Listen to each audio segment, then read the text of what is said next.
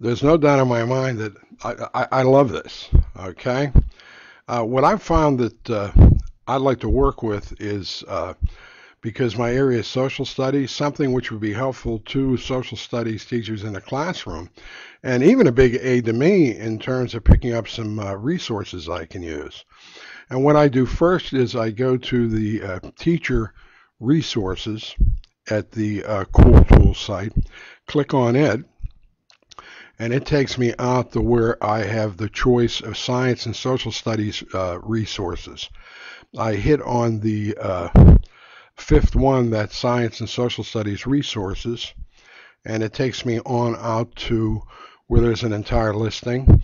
And whenever I got to the social studies part, I don't know, I think I went through almost every one of these, but, but the one that I found, which would be extremely helpful, both to me and, and also to your regular uh, K through 12 classroom teacher, particularly at the secondary level, is this one that is marked as the uh, flow of history. Uh, so I'll go to that site, and whenever I get to that site, it has it set up in such a way after you get to welcoming where it talks about theory, uh, the, the, whole theory behind the site itself, and historical resources. Now I'll go to each one of these to take a look. In terms of theory, what it does is it talks about why it makes sense to use this uh, particular uh, setup, and it talks about the problems in uh, using uh, textbooks and how what you can do is you can make things much more visual in terms of what you're going to be doing with students. So I go back to the original thing where it gives me uh, history uh, resources. And some of the history resources which it has there is uh, further readings it has. This film resources is it gives you an idea that if you want to use films in the classroom, it gives you backgrounds of the films, gives you uh, information about uh, what you would find in a particular film and give you suggestions as to uh, how those films can, can be used in terms of that. And that all comes from the Internet Movie uh, Database. So if you could go to some place like YouTube and actually call up clips of some of these films. Now I go back to the uh, history resources uh, on the website. And what it does is it, it breaks down history into uh, particular sections. For example, it has birth of Western civilization. Then I have a choice as to what kind of information about a particular point in time in the flow of history I'd like to go to. So let's say, for example, we go to the Dark Age of Greece. And what it does is it gives you readings which could be called up for the students to take a look at. And what I really like is it makes available these charts. And, and in terms of the uh, charts that they have, it's broken down and you can use these in a classroom to help organize uh, some of the information and particularly in terms of visual learners, that make it possible for them to have some understanding about the flow of things and the interrelationship between uh, different concepts and ideas in uh, history. Now, if I go on back, I have my choice down through like the Greeks, the Romans, the Middle Ages, and so on. Then over here, I have uh, U.S. history. I can go to sections of U.S. history. I can go to the uh, War of 1812, for example. I hit on the War of 1812, and what it does is it gives me uh, information which is available in that particular case.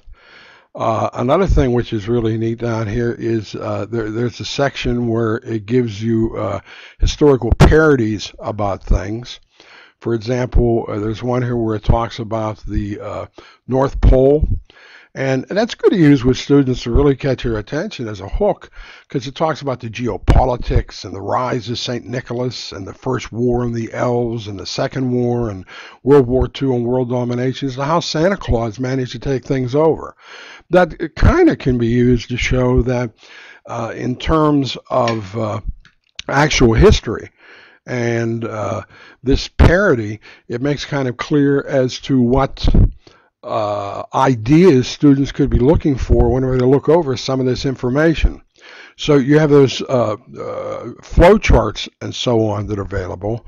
Then there's also other resources which you can take a look at in terms of further readings in each one of those areas, okay? Which uh, they're going to start to add, as it tells you right here, that there's more information that they're going to be making available.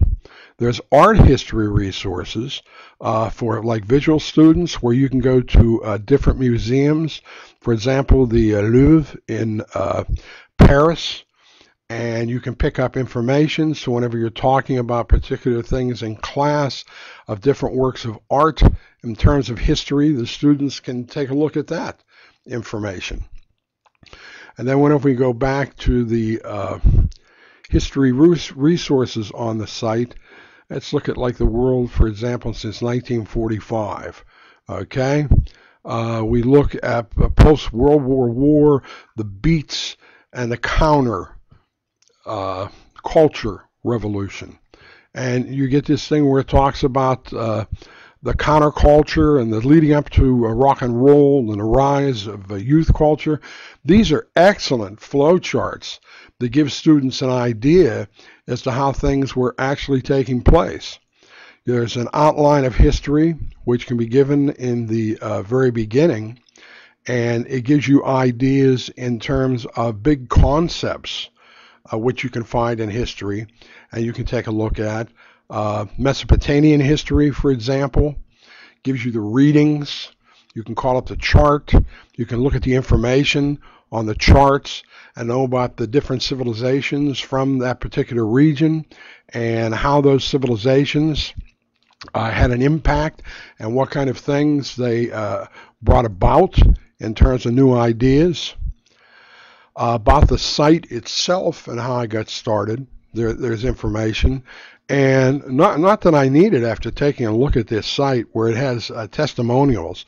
It does does give you by looking at these testimonials some actually extremely good ideas about how some of these testimonials can be used in the classroom.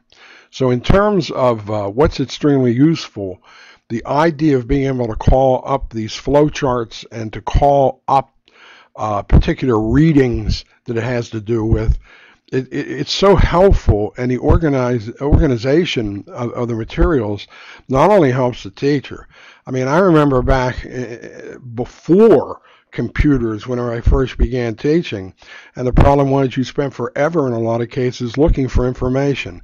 Now there's just so much at hand that you can use that it's absolutely astounding.